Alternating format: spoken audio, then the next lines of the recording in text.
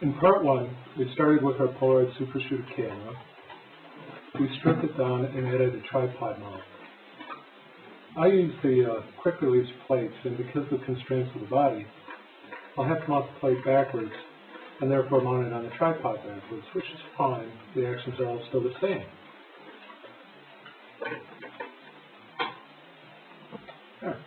In this part, we'll make and mount the pinhole, fabricate a quick shutter out of tape, and time permitting, test the camera with film. Sketching out an idea about making our pinhole.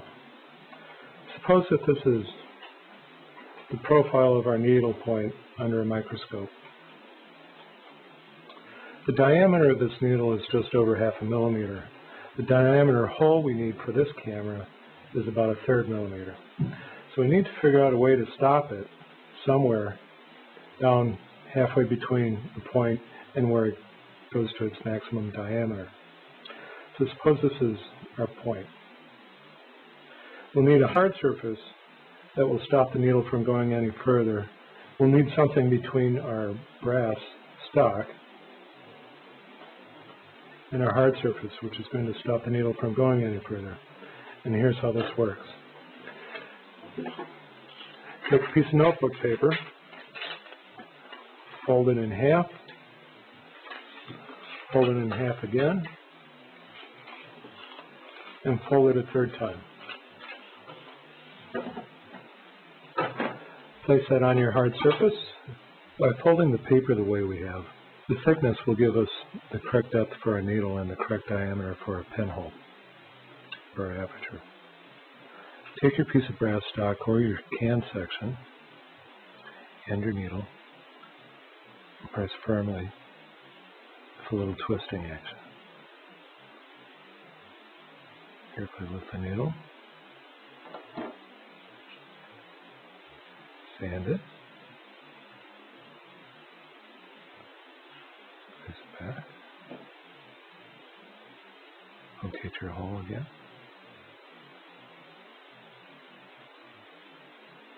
Press a little firmer.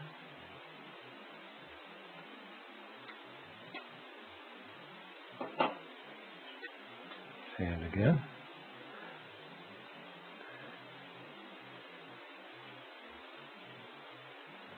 And one more time. Take the hole. And press again.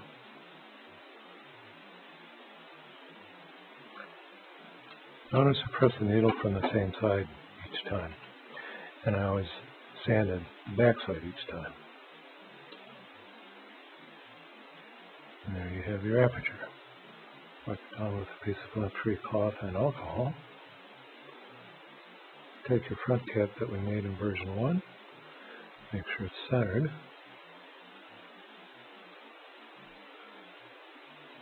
Tape it down.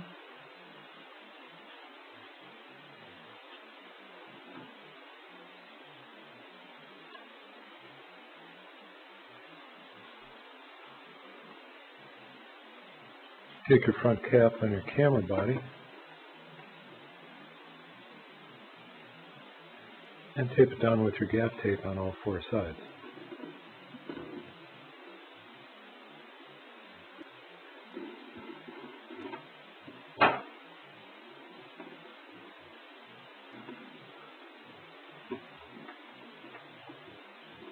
All right, and there we have it taped down.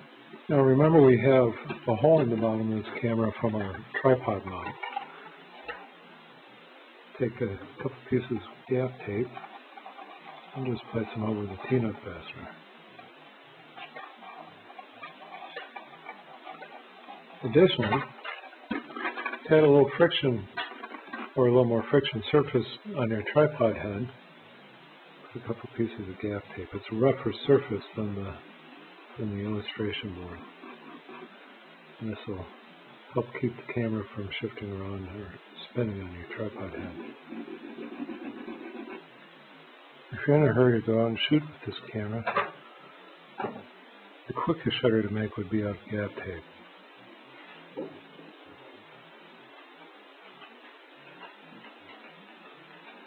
A little lint so it's not so sticky.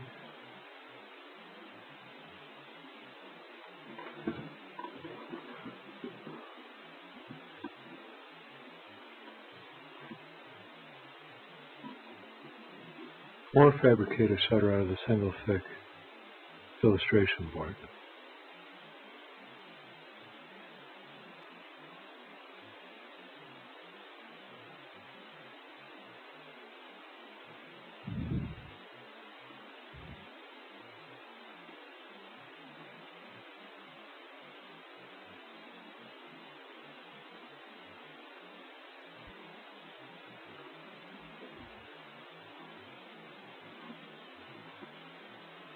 And there we have it, a 73 millimeter focal length f210 Polaroid pinhole camera. That 73 millimeter focal length will make it the equivalent of a 28 millimeter wide angle lens on a 35 millimeter camera. Before we test it, make sure your rollers are clean.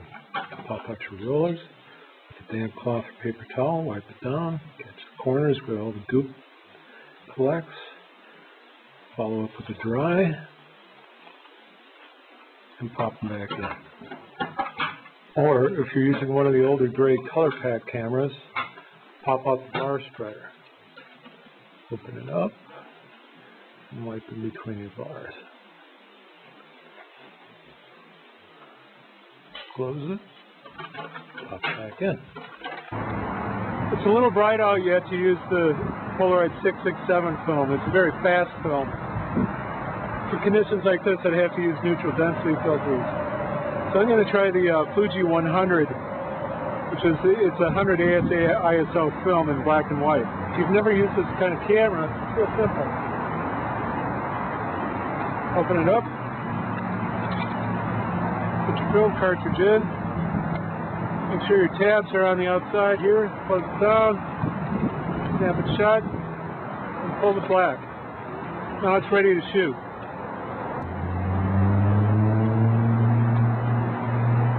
Just as note, the angle of view of the camera will be a little wider than the viewfinder. I'm going to give this test a 10 second exposure.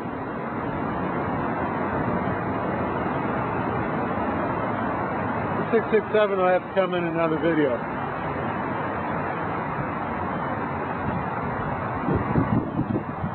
Alright, pull your white tab, pull your film,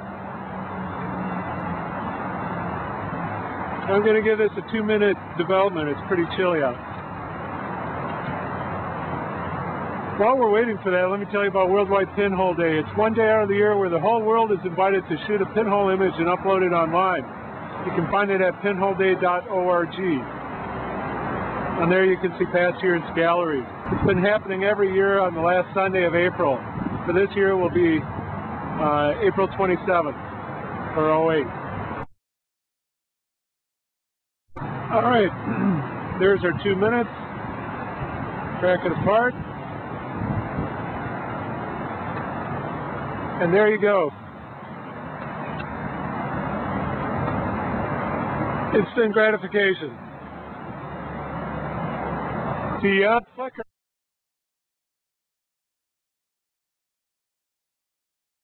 You see it's not wide enough? Okay part three.